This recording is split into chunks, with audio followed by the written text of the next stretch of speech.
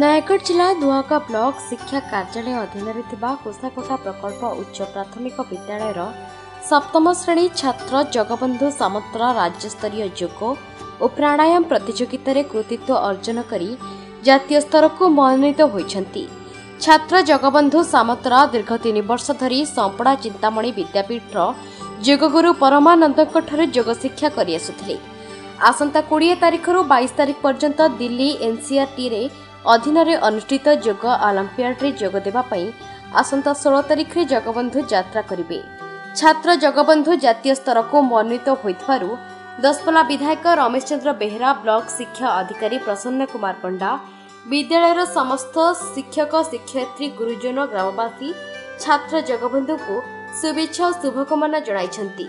ଜଗବନ୍ଧୁଙ୍କ ସଫଳତାରେ ତାଙ୍କ ବାପା ଆନନ୍ଦ ସାମନ୍ତରା ଏବଂ ମା ସୋନରତା ଅତ୍ୟନ୍ତ ଖୁସି ପ୍ରକାଶ କରିବା ସହ ଜାତୀୟ ସ୍ତରରେ ମଧ୍ୟ କୃତିତ୍ୱ ଅର୍ଜନ କରିବା ପାଇଁ ପ୍ରେରଣା ଓ ଆଶୀର୍ବାଦ ପ୍ରଦାନ କରିଛନ୍ତି। ଜଗବନ୍ଧୁଙ୍କ ଆର୍ଥିକ ସ୍ଥିତି ସ୍ୱଚ୍ଛଳ ନଥିବାରୁ ସରକାରଙ୍କ ତରଫରୁ ଯୋଗ ଶିକ୍ଷା ପାଇଁ ଅଧିକ ସହାୟତା ପ୍ରଦାନ କରାଗଲେ ଜଗବନ୍ଧୁ ଜାତୀୟ କାହିଁକି? ଆନ୍ତର୍ଜାତୀୟ ସ୍ତରରେ ମଧ୍ୟରେ ମଧ୍ୟ ଦେଶ ପାଇଁ ସୁନାମ ଅର୍ଜନ କରିବା ସେଥିରେ ସନ୍ଦେହ ନାହିଁ। ମୁଁ ପରମାନନ୍ଦ ପରିଡ଼ା ପିଇଟି ଚିନ୍ତାମଣି ବିଦ୍ୟାପୀଠ ସଂପଡ଼ା ଏବଂ ଇଏ ଶାରୀରିକ ଶିକ୍ଷା ସହିତ ଯୋଗରେ ମଧ୍ୟ ଶିକ୍ଷକତା ଅର୍ଜନ କରିଛି। ଗତ ଦୁଇହଜାର ସତର ମସିହାରୁ ଲଗାତାର ଭାବରେ ଶିକ୍ଷା ଏଇ ଯୋଗ ଶିକ୍ଷା ପ୍ରତି ଯେହେତୁ ଅଭିରୁଚି ରହିଛି ତେଣୁ ବିନା ଶୁଳ୍କରେ ପିଲାମାନଙ୍କୁ ଶିକ୍ଷାଦାନ କରିଆସୁଛି। ଆଉ ବର୍ତ୍ତମାନ ରିସେଣ୍ଟଲି ଆମର ଗୋଟେ ଷ୍ଟେଟ୍ ଲେବୁଲ୍ ଯୋଗ ଅଲମ୍ପିଆଡ଼ ଉପରେ କମ୍ପିଟିସନ୍ ହେଇଥିଲା Bhubaneswar capital high school unit ଥ୍ରୀରେ ସେଇଥିରେ ମୋର ଗୋଟିଏ ପିଲା ଜଗବନ୍ଧୁ ସାମନ୍ତରା ସେ ନ୍ୟାସନାଲ୍ ଲେବୁଲକୁ ସିଲେକ୍ସନ୍ ହେଇଛି ଏବଂ ଆଉ ଦୁଇଟି ପିଲା ମଧ୍ୟ ମୋର ଅଳ୍ପକେ ବଞ୍ଚିତ ହୋଇଗଲେ।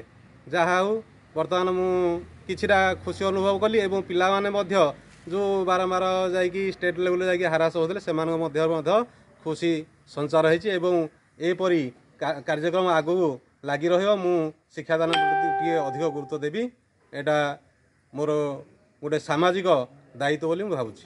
ଯୋଗ ଉପରେ ଗୋଟେ ସ୍ୱତନ୍ତ୍ର ସରକାର ଧ୍ୟାନ ଦେବା କଥା ଏବଂ ଯୋଗ ପ୍ରତି କୌଣସି ଇଏ ଆମର ପିରିୟଡ଼ ନାହିଁ ଯୋଗ କ୍ଲାସ୍ ଗୋଟେ ହେଲେ ପିଲାମାନେ ଅଧିକ ଅଧିକ ଆପ୍ରେସିଏଟ୍ ହୁଅନ୍ତେ ଅଧିକ ଅଧିକ ଉପକୃତ ହୁଅନ୍ତେ ଏବଂ ଯେହେତୁ ଏଇଟା ଫିଜିକାଲ ଫିଜିକାଲ ଏଜୁକେସନ୍ ସହିତ ସମ୍ପୃକ୍ତ।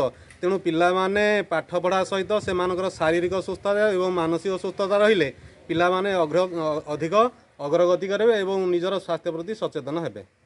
ମୋ ନାଁ ଜଗବନ୍ଧୁ ସାମନ୍ତରା। ମୁଁ ଏଇ କୁସାହାଟର ଛାତ୍ର। ମୁଁ ସପ୍ତମ ଶ୍ରେଣୀରେ ପଢ଼େ। ଆଉ ମୋ ସ୍କୁଲର ନାମ ସରକାରୀ ଉଚ୍ଚ ପ୍ରାଥମିକ ବିଦ୍ୟାଳୟ।